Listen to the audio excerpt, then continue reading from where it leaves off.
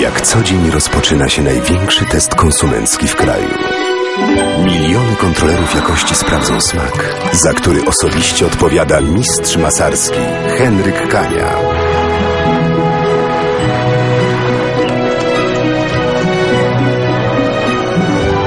Henryk Kania. Smak mięs i wędlin gwarantowany.